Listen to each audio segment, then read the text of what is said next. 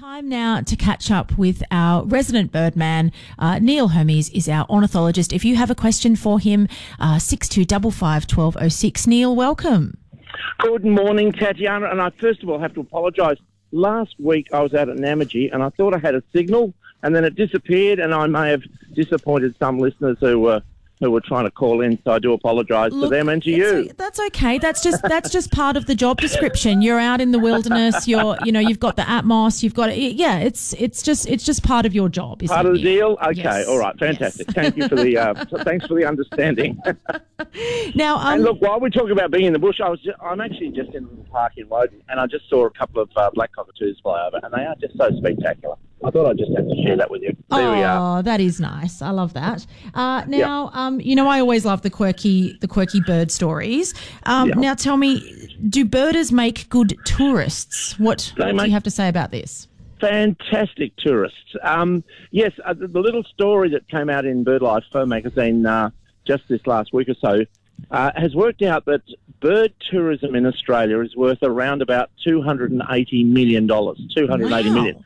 Which you know is a, a massive amount, and yes, uh, bird watching is a huge business these days. People people love going out, seeing different things, and the great thing about bird watchers is they go to odd spots, you know, Yeah, yeah. spots, which means that little communities can benefit from, uh, you know, putting up bird watchers in local caravan parks or in local motels or taking them out to, uh, you know, it might be Boulia in the middle of Queen, Queensland. It might be, uh, you know, Umbakumba in the middle of the Northern Territory. It, it, it spreads uh, interest to a lot of different places and provides fabulous jobs for people who, you know, can be out looking at birds and, and helping visitors see birds. So, look, uh, I mean, there are, you know, some places do get a lot of bird watchers in the same spot, you know, day after day, and we have to be careful we don't disturb the birds in some spots. But, you know, generally speaking, it's just a, a fabulous, fabulous thing that's a, a relatively recent thing in the last decade or two. And look, with the COVID restrictions lifting, you know, bring on the bring on the bird tourists. Well, it's interesting because um, so this article says that uh, BirdLife Australia's Bird and Nature Tourism Report um, that looked at that data and, and trying to sort of you know quantify um, that scale of, of bird watching tourism that it might make people look differently at that little patch of bush if, if it means that people are going to come and, and you know spend money in the town as well. Ab- absolutely, and look, it's important in Australia because, as I mentioned, you know, it could be remote locations. But I've done a bit of, I do a bit of bird touring myself, and I've done some bird touring into New Guinea, and it can be everything for a little village in a place like New Guinea where you know they might have a particular species of bird. I, I'm thinking of a particular bowerbird up on the uh, Ranges in uh, in uh, uh, northern Papua New Guinea, and you know there's two or three villages that really depend on about 10 visits of bird watchers each year um, to actually take them out of, you know, subsistence living and, and give them some uh, opportunity to send their kids away to school and other things. So, look, it's, it's desperately important in many places.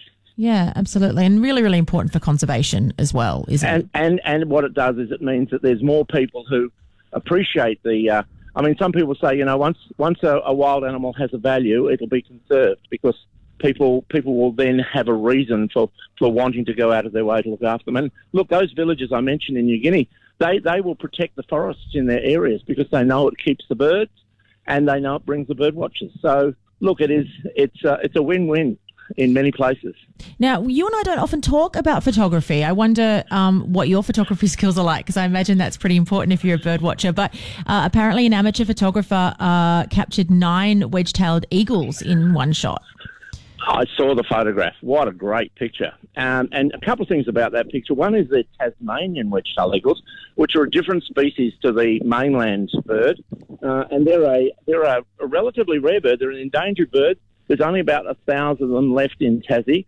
Uh, but to get nine of them lined up on a fence post, um, as, this, as the article says, vulture, vulture-like. Uh, Very sort of Alfred. Hitchcock, too, I, I would It argue. is, and you and you wouldn't want a lot of wedge-tailed eagles uh, uh, bombing you. Um, No. But look, the thing about wedgies is is uh, it, you know prior to European settlement, they were they were dependent on things like bilbies.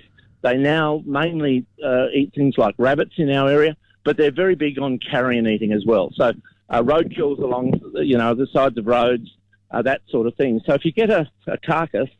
Um, and there's a few wedges in the area, especially young birds, they will gather, and you get that sort of fantastic scene of that line of birds on the fence post.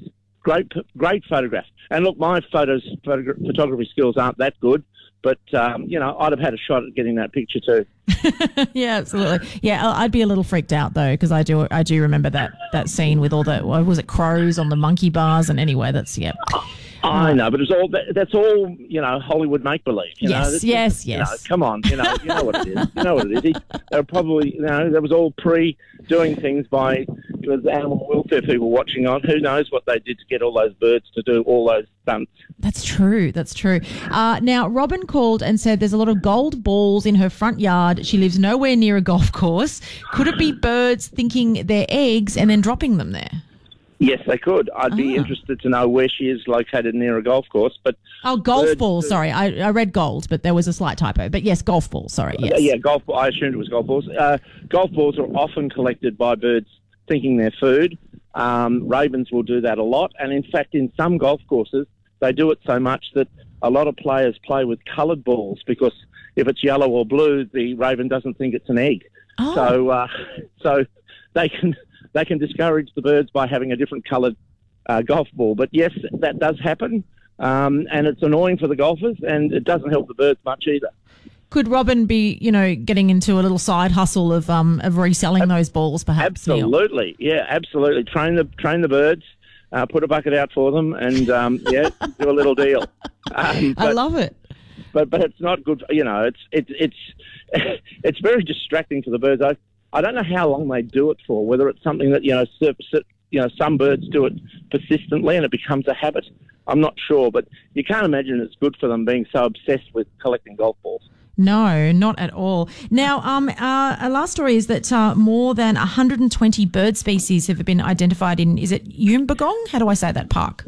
Umbagong in uh, Latham. Yes, yeah. yes, I saw that little story. What a great uh, school uh, uh, girl, uh, Lucy uh, Weninger, was it? Um, she did a study while she was at school at, at Tilapia Park, and found a, over hundred species of birds in that local park in Latham. Wow. And that's a that's an amazing effort for her as part of a yeah, school project. that's fantastic. Um, but I would say that, you know, um, in my little book on the birds of Canberra, there's 300 odd species uh, of birds that could occur in Canberra. Mhm. And look, in most places where you have, you know, a decent garden and a bit of water around, you know, you can get 50 or 60 species, you know, in a, in a given year. Uh, but 100 is a very good effort. So congratulations to her and congratulations on to her for her uh, evolving interest in, uh, in, in bird conservation and bird study. Yeah, fantastic. Um, yeah, an A plus for her. Um, now Judy's on the line. Hi, Judy. Hello, thank you. Uh, I want to know whether you're going to. I'd love it if you could go back to the idea of playing a bird, a local bird call each week, and telling us all about that bird.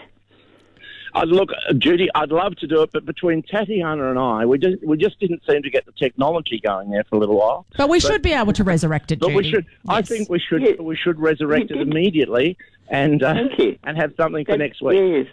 You did it at Yeah, one no- stage. I understand sometimes it goes wrong, but uh, it's, it's great when you can do it. Yeah, no, no, we uh, we uh, we just have to sort that out. I have to be more disciplined and make sure that the that we have the material available, and we'll definitely do that next week and from then on, Judy. I think it's a great idea. That sounds be good. great. Thank you very much. That sounds good, Judy. We're going to get Neil to, to tell us every single one of those 300 bird varieties in Canberra. What do you think? Yeah, some of the ducks aren't that interesting. I look forward to it. Thanks, Judy. Thanks. Um, yes, Neil, you know I'm always teasing you that you could just do the, the bird call for me because I'm sure you're very talented. Um, and maybe after a wine or two, you yeah. could you could do a couple Even for us. even better after the wine. That's right. Yeah, that's right. Fantastic. Now, um, the weather's um, still fairly mild. We did have our first frost this week. Um, but uh, how's that in bird watching terms? Are you still going to get out there this weekend? Yes, um, well, I'm out having a bit of a walk at the moment. I'm just in town, just at a local park. Um, but yes, I'm uh, I'm going down to. Uh, I'm actually going down to Sydney this afternoon. I'm hoping to get out into a uh, coastal park in uh, in southern Sydney. Um, but look, the uh, this time of the year, we're getting our our uh, our summer migrants are all virtually left, Mhm. um, and we're getting our winter birds in. Many people would have heard that caroling of the currawongs, which is one of the sort of dominant sounds in the bush at this time of the year as they come in from the mountains and, and start to build up in numbers around the city. And they have that wailing call. I shouldn't I shouldn't say this. Perhaps that should be our bird call for next week. that might that might be a tip for those. Well, that's how we know people are listening. If you just already give it away now, that's, that's a great idea. Yeah, that's true. Uh, but yes, we we've got. Uh, so look, uh, things are quieting down in, in many ways, but then a lot of our birds start to breed very early. So birds like um, lyrebirds are starting to, you know, by May or June are starting to call a lot. Wedge-tailed eagles, we just mentioned them, they're early starters with their, their breeding. So, um, look, we in the next few months uh, we'll be starting to move into some of the early breeding species as well. Fantastic. Well, Neil, it's always a pleasure to catch up with you. Uh, happy birding this weekend. Thank you. And, uh, and we will chat next same Saturday. To you, same to you if you happen to be out. Thank you. Thanks so much, Neil. Good Chat to you next Saturday. Tatjana. Bye. Neil Hermes is our resident ornithologist. And uh, yes, um, to Judy, we will try to get back to um, uh, those regular bird calls as well. Uh,